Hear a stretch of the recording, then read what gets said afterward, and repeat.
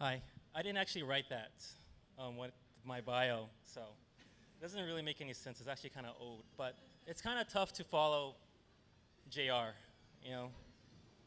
But um, actually, who would want to see JR in Hawaii? I was actually talking to a buddy of mine in LA who's a gallerist out there, and we were talking about trying to get him here. Um, so maybe, maybe, maybe it's a possibility out here too. Um, so I'm Jasper. Um, quick disclaimer, I'm not the best speaker. Um, I've done a lot of talks before, but uh, for some reason I'm more nervous at this one than the one I did in Australia recently because I think in Australia I leave the country, and here I'm kind of here. I'm, you'll probably see me around or something. But um, so I don't really consider myself an activist. I think the work that I've done can be construed as activism, but I never really went into it thinking of it as activism. Um, I think in the beginning it was just to sort of fill a gap of sorts, you know, to sort of. Um, I don't know how many of you here are fresh grads from college, or some of you maybe graduated with a design degree, or if you're having, or you're sort of trying to figure out what you do with that thing. Um, I graduated from art college with a BFA in illustration, and I was lost after I graduated. Um, they never really tell you what you're supposed to do with it. You know, do I send out a ton of postcards to magazines and hopefully I get hired for illustration jobs? Um, maybe I try to get into art shows, but like, how do I make a living doing that? You know, like how like how will I support myself in the long run with an illustration degree? Like, do I make children's books now or something? And so that was sort of where I was after college. And I did do all of that. I did send out postcards to galleries. I sent out little books. I tried to get into art shows. I got published in magazines. But it was still, it didn't feel like I was heading in the right direction. So one day, a couple of my friends and I tried to start a brand. You know, we just tried to start a t-shirt brand. Maybe if we start a t-shirt brand, we can get our work out there. Maybe become mainstream, maybe we'll get more work. And the one thing that we also didn't get taught when we were in school is how to get our ideas to physical form. Like how do you, if I wanted to make a shoe or if I wanted to make a chair or a bag or something, like what is the process from my ideas to an, an actual physical object. And so I thought that the best place to figure that out was Hong Kong. So after thinking about it, two months later, after having the idea, I packed up and I moved to Hong Kong.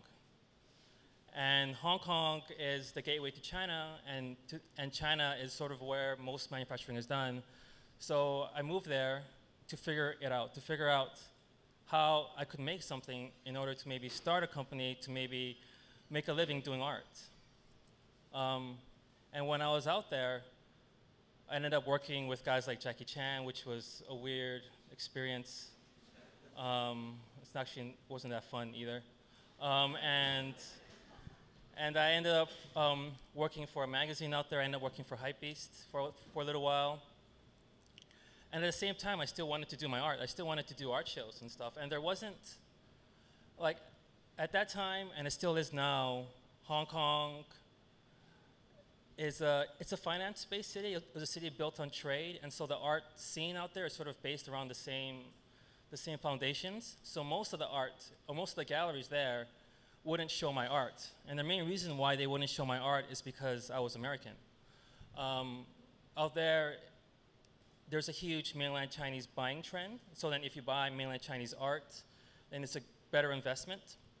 Um, and so whenever I went to a gallery to show my work, it was, they always told me that I had no potential because I was American. I'm Chinese, but then it didn't matter. Maybe I, I changed my name to something that sounded more Chinese or something, I don't know, but it didn't, no one wanted to show me. And so the dilemma happened to where I could either stop doing, like stop trying to show my work in galleries in Hong Kong, or I could start my own gallery and see what, could happen if I just showed my own work in my own space. And so I walked around and I walked from where the gallery district out to like maybe the outskirts of the city. And I ended up at a sign um, that was an old restaurant that wasn't that hasn't been open for maybe like 10 years. It was just a vacant restaurant. So I called. So we called the number, and we asked them how much it would cost to rent it. Um, and they told us, and we thought that it was doable, that we could survive paying that rent a month, and maybe I could turn it into my studio, so it made more sense. And maybe two months after, after signing the lease for that, we uh, opened up above Second, which is we call it above Second because it was above Second Street um, in Sai Ying Pun. And we thought that since it was in the boondocks, then maybe if the address was the name of the gallery, then people would find it easier. So um, I gotta find that slide. This one? Oh, wrong way. Oh, there, that's my thing. Oh, there, above second. And it was a little gallery on the top of a hill um, in Sai Ying Pun. And it's actually a real pain in the ass to get there. Um, you have to take the train, and then either you can take the tram, like two stops, and then walk up a hill for like 10 minutes, or you can just walk from the station for like 20 minutes. It kind of sucked to get there. Like, we were worried that no one would even show up just because it was like out in the middle of nowhere. But people showed up, you know.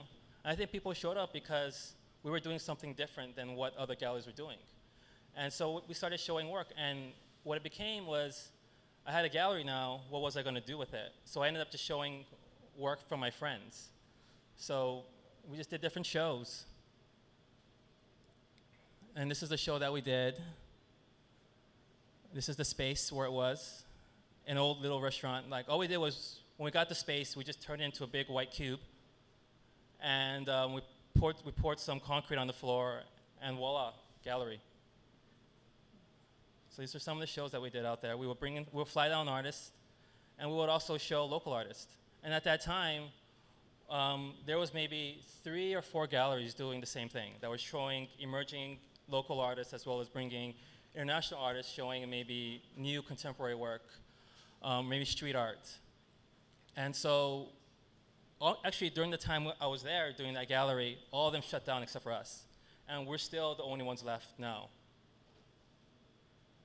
Oh, I should go back one. I'm going too fast. Um, and so I was doing that in Hong Kong, and we did the first powwow there. I don't know if you guys heard of powwow. It's all the murals you see in Kaka'ako. Um, so we did the first powwow, and one of my friends comes up to from Hawaii to Hong Kong to visit and see it and see the show, and uh, she, uh, her name is Krista, Krista Whitmire, and um, she asked me to do one in, in Hawaii.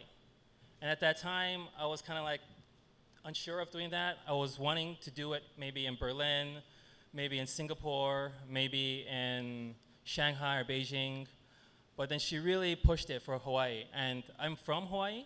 I went to Kalani High School, and um, I left Hawaii because I didn't feel like it was a place for me as an artist to grow or to start a career doing art, so I left, and I left for a long time.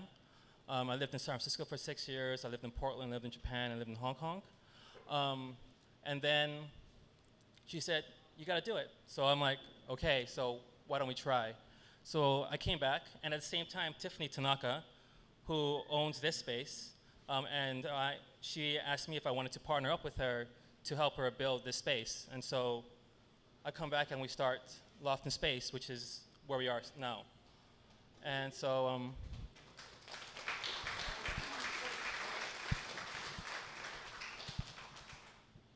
so we start doing art shows here. Um, and we start working with people out here. Like, it's been blood, sweat, and tears working and trying to make this space happen. And we're still trying to figure it out now. We're still trying to find our footing and where we're going to take it. And guys like Leland, who's our manager, and people that we work with, like, like Jeffrey Gress and different people, like there's times when I'm you could find me sleeping back here and one time I was trying to paint the wall outside for new art for a new mural and I fell asleep on the scaffolding. I think Prime was there. Um, so yeah, displaced. so we started doing shows here and I thought same thing like why if I have a space here why don't we just um, why don't we just show friends and do different kinds of art? So we bring in guys like Aaron De La Cruz and we turn, um, we build a little room for him. That's his childhood bedroom, which ended up turning into the stage. So that was that. Um, we bring in Crink from New York. And that's sort of what's at that far corner there. Um, we built this giant 16 foot sculpture um, in the middle of the gallery, which was something that I probably would never ever do again. Um, that was hellish. Yeah. And that thing. Which, like, people liked it, people didn't like, but, you know, it was, it was interesting, it was different. And I ended up ruining a lot of stuff. And then we bring in people like Patrick Martinez, who actually got um, chosen as one of the top artists to look out for by Complex Magazine. And um, Tiff and I brought out Johnny Cupcakes here, and they had a line that went out until like 5 a.m. Um, people were standing in line to meet him and buy stuff from him. And then there's Powwow Hawaii. So Powwow Hawaii is sort of like I'm really attached to this. I think like more than anything right now. Um, it's taken a lot out of me, and but it's also like helped me a lot too. Like it's, it's, it's it gave me a lot at the same time. Um, Powwow Hawaii started first in Hong Kong, and then Krista convinced me to do it in Hawaii. And at that time, I came back in November to do it, and we wanted to do it in February. And we had maybe three months to put it together. And Krista was trying to convince me to move it back, but I said, if we keep moving it back, we're never going to do it. And so we kept it in February, and we had three months to put it together. And um, and so at that time, we convinced some people to sponsor us. Um, they were going to put in money, and as time came closer to it, um, they dropped out of it. They decided that it was too risky for them to put money into it. And because art has never been seen as a, as a great vehicle for, for promotion. And so it became a choice of either ending it, maybe doing it half-ass, or maybe, or maybe like not doing it at all you know, uh, or just going all in. And so I decided that there was no other option but to go all in. And I took out my credit card and I started buying stuff. I started buying flights from Canada, I started buying flights from Australia. I completely like destroyed my credit card pretty much. Um, I didn't even have that money. It took me like a long time to pay it back afterwards. Um, but we made the first Powwow Hawaii happen, you know. Um, we brought in like 20 something artists and we all just painted together. There was no business plan. There was no way to make a profit or anything. There was no way for me to recoup that cost. It was just, man, just, just do it, just do it. And so, the first Powwow was in Hong Kong, and this was the one in Hong Kong. That's me in the pink um, skin tight outfit. Um, Verbal and Yoon from Japan, and this is the one last year in Hawaii. And so we brought in all these guys. Most of them are friends or buddies that I knew from traveling, from doing art shows everywhere. You know, guys from Canada, guys from Australia, guys from France. And we just painted for a week. And it was great. It was amazing. It was, um, it was unbelievable.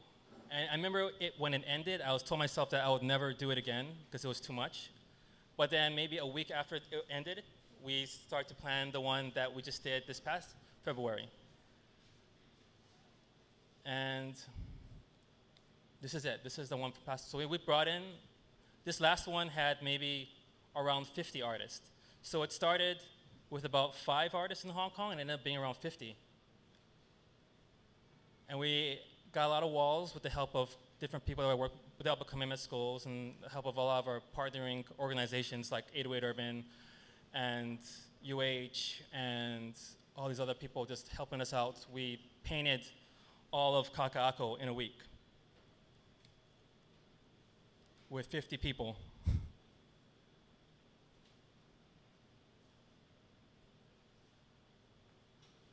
And people were even shaving um, our logo onto their heads and stuff, which was crazy. You know, people like Roger Gastman showed up. Um, he's, uh, he's the um, writer of History of American Graffiti, and he co-curated the MoCA Art in the Street show in LA. Um, and then we decided that we needed to add another element to it. We needed to sort of give back. And so we taught kids for three days, and that was in a partnership with 808 Urban. Um, Prime is speaking later this evening, so he can talk more about that. But we're doing a year-round course now. And we did a talk at UH, a panel discussion, and these are some of the murals that we did all around. You can see it, it's right, it's right outside here. Like you can just walk down a few blocks and you'll see all this stuff.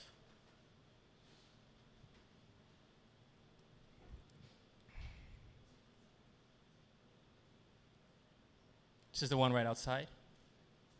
This was actually really controversial. We're getting a lot of crap for this one because there's a pineapple doing a Hawaiian guy over there in the corner. Um, but, and then we did this big aloha too.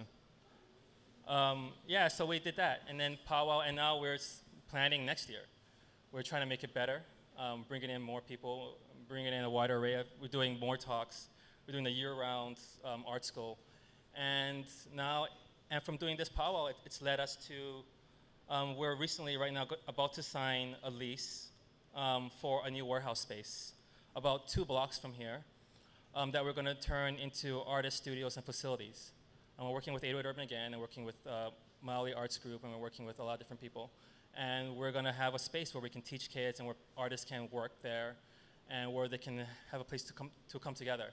And we're trying to build a skate park in the neighborhood and everything. So um, yeah, so that's sort of what we do. Um, or, well, yeah, what I've been involved in ever since I came back to Hawaii about a year ago. And so um, that's, I guess, art as activism, I guess. I guess bringing it back to activism, I guess an important part, I think, for artists from Hawaii is that you find a way to come back to Hawaii to give back. Um, I know a lot of us leave. I know a ton of guys are still gone. I still stay in touch with a lot of guys that are like in LA, New York, wherever they are from Hawaii. And, and I think it's important for all of us to sort of just, um, just return to Hawaii and, and uh, try to give back from what we learned from traveling and from, from doing all this kind of stuff. So um, yeah, that's about it, I think. So yeah, artists. Thank you.